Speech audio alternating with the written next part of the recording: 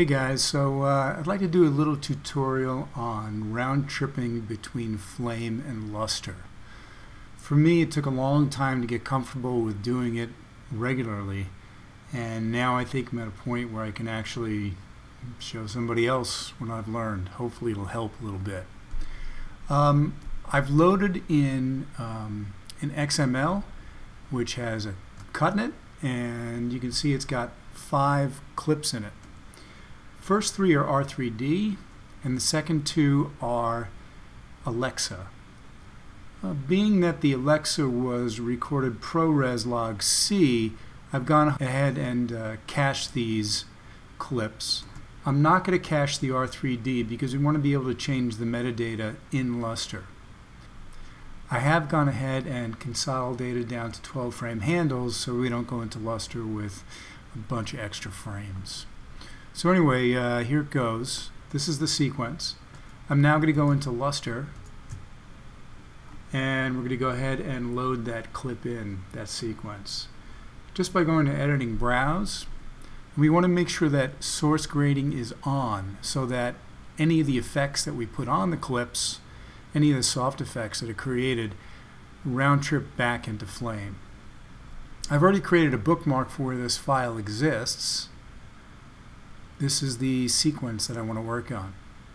Uh, I can either drag it into the library or I could drag it right into the timeline. Let's go ahead and do that.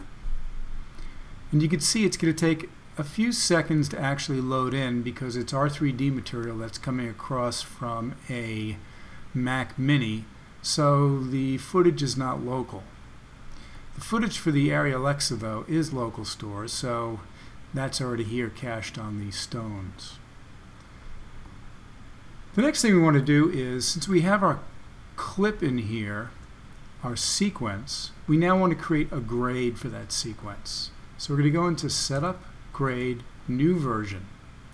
That now creates a grade for our sequence file. We're going to hit Save again, and being that history is on, and autosave, we've now also generated an autosave file that saves based on whatever you have stored in settings. So here's our clip. This is our R3D material. And what we want to do is we want to make sure that we have it loaded the way we want, whether it's full res or, or full premium or whatever it is. Uh, let's go ahead and make those adjustments now. In image transcode, we want to go to format and adjust our debayering. We're going to adjust the high to half premium turn on Dragon enhance black and turn this to maximum for noise reduction.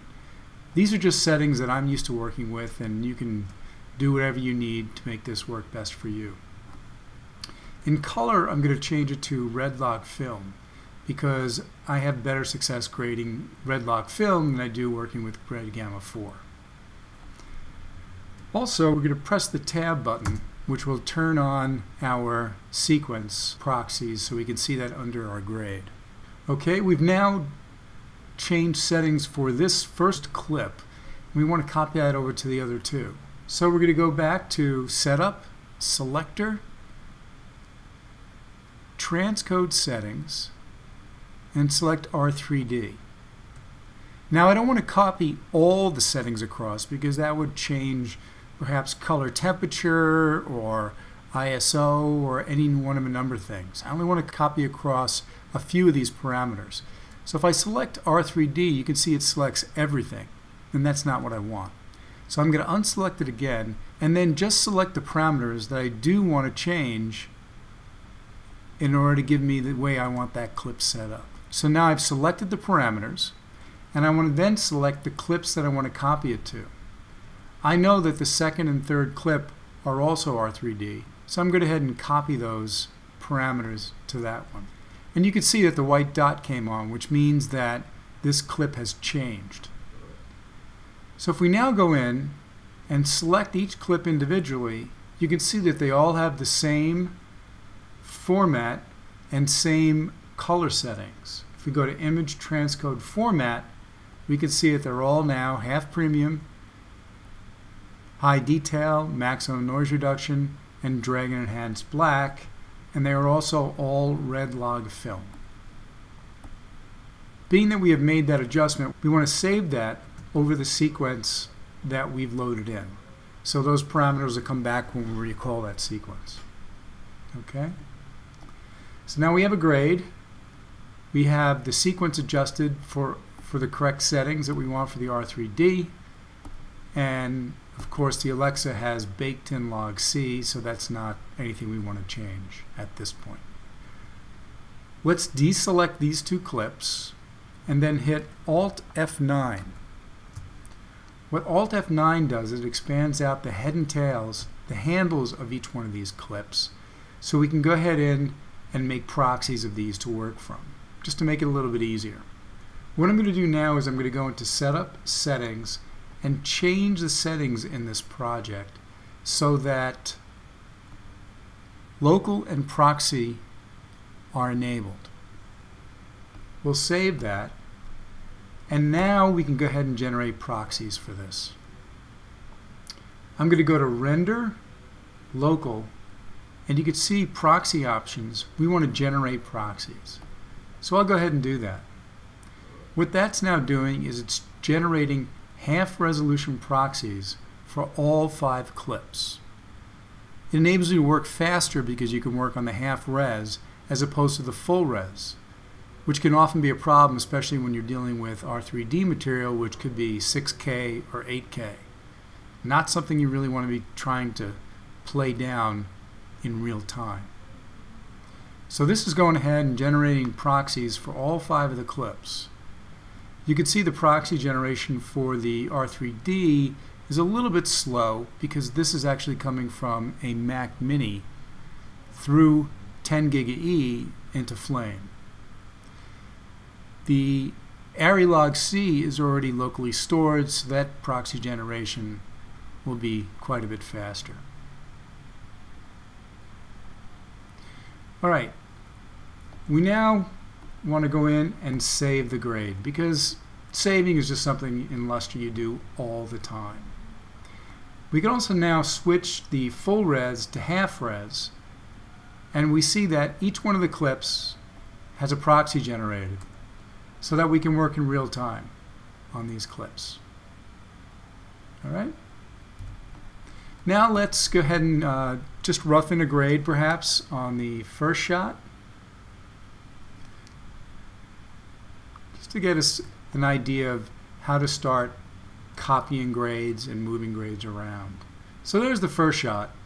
We now want to copy that grade to, let's say, all four clips that follow.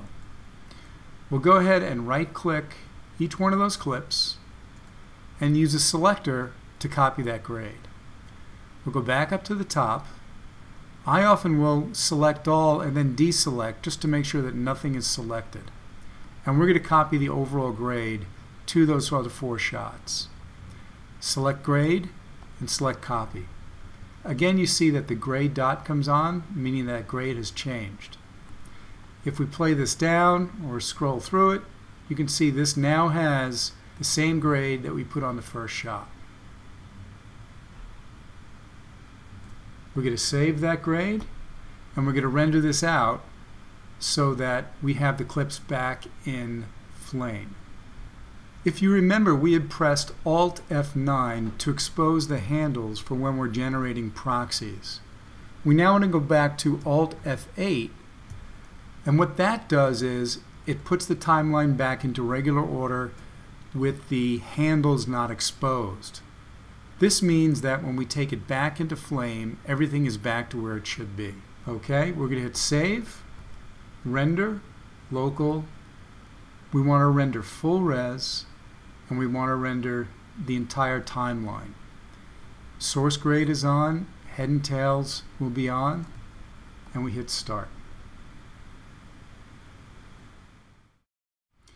We can then press P, which takes us to the print output. This is now the render that we've just done.